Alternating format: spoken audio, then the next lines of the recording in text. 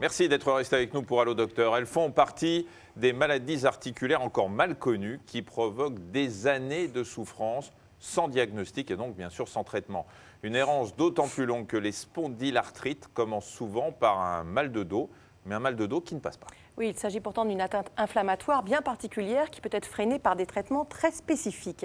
La spondylarthrite fait partie d'un ensemble de maladies regroupées sous le nom de spondylarthropathie. Elle se caractérise par une inflammation au niveau des articulations de la colonne vertébrale et de ceux du bassin au niveau des sacro-iliaques. On va voir tout de suite cette articulation sur une animation. On commence avec la colonne vertébrale.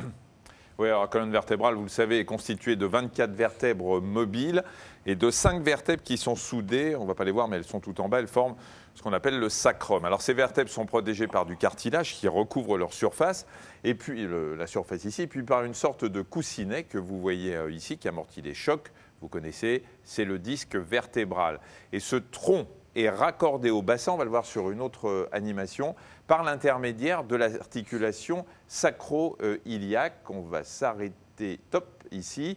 Euh, c'est euh, pour ça, ça, relie le sacrum, hein, qui est ici, recouvert des ligaments, et puis ici l'os iliaque, qui sont de part et d'autre. Et là, on voit bien les vertèbres attachées. Voilà, les vertèbres qui sont euh, ici. Et puis, il y a des ligaments, une sorte d'attache fibreuse qui va maintenir ces différents os.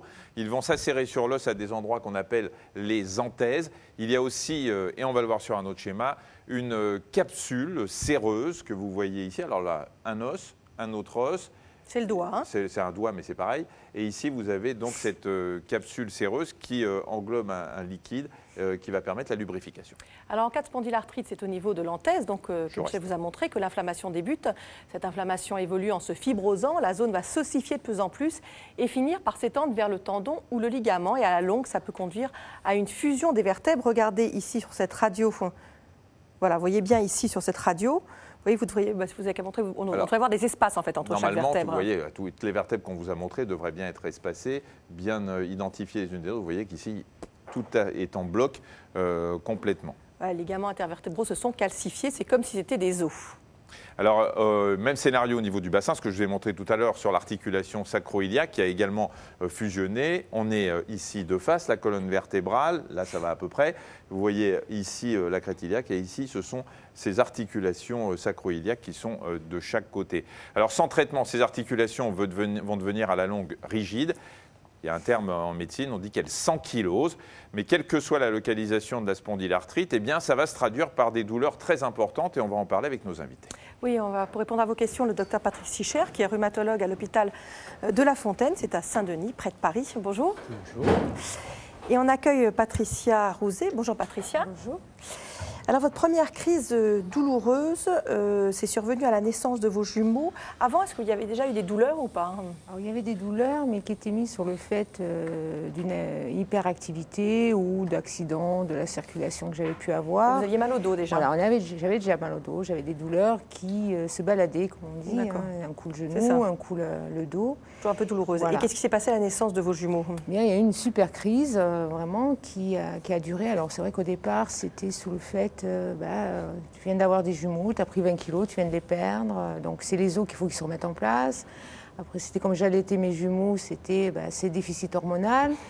Et enfin, toutes les excuses étaient bonnes jusqu'au jour où j'ai mis un peu le point sur la table et puis j'ai demandé vraiment à ce que ça soit poussé et qu'on fasse euh, quelque chose, des radios qu'on trouve. Et là, vous avez vu un rhumatologue Et là, j'ai vu un rhumatologue qui, euh, qui m'a fait faire une scintigraphie osseuse et le radiologue a de suite posé le diagnostic. Euh, Pas avec beaucoup de délicatesse. Oui, racontez-nous oui, ce qu'il vous a annoncé. Parce que moi, on a, on a sur nos fiches tout ce qu'il vous a dit, c'est assez sympa. Hein. oui, oui, oui. Il a été très.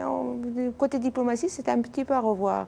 Il m'a dit bon, mais voilà, vous avez une spondylarthrite ankylosante je ne savais pas du tout ce que c'était. Mhm. Pourtant, j'étais dans le milieu médical. Et il m'a dit, bon, ben voilà, euh, vous allez avoir la colonne vertébrale qui va se souder. Euh, c'est une maladie qui est incurable. Euh, elle est évolutive. Vous allez avoir des problèmes respiratoires parce que la cage thoracique va se bloquer. De ce fait, vous allez avoir des problèmes cardiaques. vous risquez une uvéite et de devenir aveugle. Donc là, je lui ai demandé où était le premier train. Parce que je dis, voilà, quoi. Et surtout que je venais d'avoir encore des jumeaux, donc en tout j'avais quatre enfants, donc c'était un avenir plutôt très pessimiste. vous, vous, travaillez dans le milieu médical? Je travaillais dans le milieu médical, j'étais euh, secrétaire médical et aide opératoire. D'accord. Alors, il vous a dit ça comme ça? Il m'a dit ça comme ça, au revoir madame. D'accord. Non, parce que souvent les patients nous disent ça, on est toujours tous un peu sidérés, euh, les médecins qu'on reçoit et nous en tant que médecins, qu'on puisse avoir euh, une telle empathie pour, les patients en leur annonçant euh, les choses. Et à un moment, vous n'aviez pas envie de lui rentrer dedans, lui demandant s'il pouvait vous parler un petit peu plus gentiment Oui, limite, parce que j'ai n'ai pas réussi à comprendre exactement ce qu'était la maladie. Quoi. Il m'a dit, bon, voilà, tous les, tous les inconvénients de la maladie. Il ne m'a pas dit, il y a un traitement euh, avec la, recherche, ça va évoluer, on va trouver des solutions, etc. Mais de toute façon, vous n'aurez plus mal quand tout sera soudé. Heureusement, votre, votre, rhumato vous a un peu rassuré après. Après le rhumato, oui, oui, il m'a expliqué, etc. Donc après, fait, je me suis renseignée un peu comme tout le monde, mhm. par Internet. J'ai fait partie d'une association de patients. Et là, grâce à l'association de patients, entre autres, aussi, avec le rhumato, euh, j'ai compris la maladie, j'ai plus d'espoir euh, j'œuvre pour la recherche. On va, on va, en parler. On ne va pas vous demander, docteur Sicher, si ce genre de comportement euh, du médecin vous énerve, parce qu'on a la réponse. Euh, quels sont les premiers symptômes de la spondylarthrite? La douleur. La douleur, et c'est une douleur un petit peu à part par rapport aux douleurs du dos habituelles. Les douleurs du dos habituelles, on, se penche, on se fait un peu mal, comme on dit le tour de rein vulgairement, puis ça dure 2-3 jours. Là, c'est une douleur qui persiste, qui peut, être, euh, qui peut réveiller la nuit, et puis qui s'accompagne le matin d'un dérouillage. On est rouillé, on, est un petit peu gêné euh, pour se lever, quelquefois il faut attendre une heure, deux heures, ou, voire plus. Quelquefois même on est rouillé toute la journée. Cette espèce de dérouillage qui fait que vous êtes un peu engoncé euh, dans votre corps, et avec toujours une dominante le bas du dos. Mais ce n'est pas forcément que le bas du dos, ça peut être le haut du dos. Ça peut commencer par des dorsalgies, mhm. le haut du dos. Donc c'est la douleur qui est le, premier symptôme qui doit faire appel. Et rappelons que le bas du dos, dans presque un quart des, fois, ce sont les, régions du bassin et des sacroiliacs qui sont à l'origine de douleurs du bas du dos. Donc c'est un piège. Est-ce possible de faire un diagnostic confirmé de spondylarthrite sans aucun signe à l'imagerie? C'est mon cas, mais je reste sceptique. Est-ce qu'on peut effectivement, euh, est-ce qu'un médecin peut affirmer qu'il y a une spondylarthrite s'il n'y a rien aux examens d'imagerie? C'est une question importante parce qu'en fait, il y a plusieurs formes de spondylarthrite. Il y en a qui sont évidentes, donc euh, bah, mmh. celle dont vous parlez à l'instant, puis il y en a qui sont pas franchement évidente, avec des douleurs qui même qui peuvent se rapprocher, rappeler ce qu'on appelle la fibromyalgie. Donc vous voyez, c'est pas un mhm. contexte de douleur. Et à ce moment-là, on va se servir de plusieurs choses, d'analyse de sang, et notamment pour rechercher un gène qui est souvent euh,